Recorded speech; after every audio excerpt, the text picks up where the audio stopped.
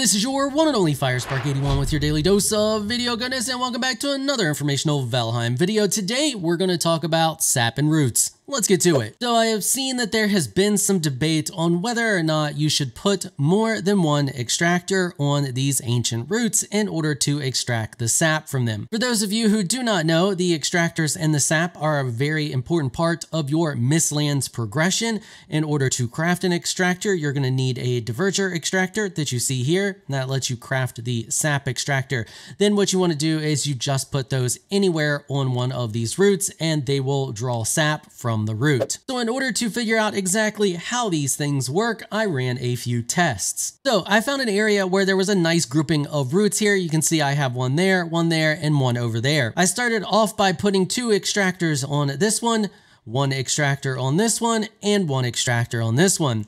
Then I ran the sleep command, which fast forwards through an entire day in the game in order to speed up time and see how much sap I got from each of these roots. And I can tell you that every day that passes, you will extract 10 sap from a fully charged root. But note that it can only hold 10 sap, so you do need to clear them out daily. So I did. I went through and I cleared out all of the sap and I put it in a chest on each one of these and then I continued to pass the time until the sap was empty and the root was all dried up. So you can see here that on this root here with the two extractors, it dried up in three days and you can see I got a total of 50 sap. This root on the first go had one extractor on it, it dried up in five days. And of course, that means we got 50 sap. Same thing over here. The first round, dried up in five days. It only had one extractor on it and we got 50 sap. So then after the root has dried up, you have to remove the extractor from it if you want it to refill quickly. If not, it will go down to only gaining about one sap per day and the root itself will not start to recharge until the sap extractor is full and no longer drawing sap from it. So if you bust the extractor down and throw it in a chest and wait for the root to regenerate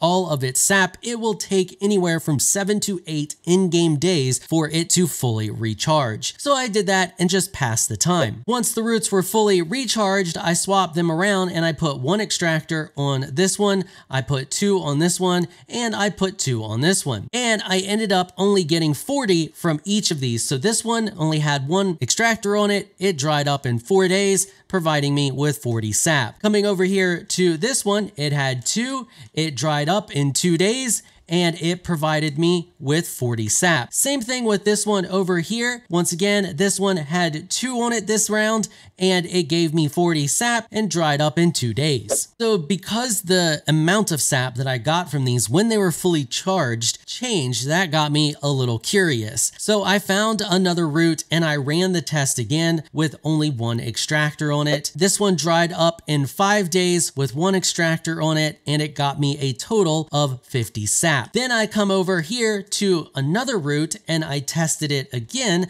with only one extractor on it. It dried up in four days and it gave me 40 sap. So this tells me that roots can start off with 50 sap in them, but after they initially dry up, they should, unless something really wonky is going on here, only produce 40 sap after that. So what all of this testing tells me is that you need to think of these roots as a tank of fluid, and each of them only has a certain amount of fluid in them, anywhere from 40 to 50 sap. After you empty all of the sap out of them, to get them to fill back up so you can drain the sap out of them again as quickly as possible, you need to break down the sap extractors you have on them. You should also put as many sap extractors on each individual root as you can afford to put on them and empty them as fast as possible and then take those extractors to another nearby root and do the same thing. And the reason for this is because of the root's cooldown time, the time that it takes it to refill. So the longer it takes you to drain all of the sap out of them means that it is going to take you even longer before it is full again. So your best bet is to empty it as fast as you possibly can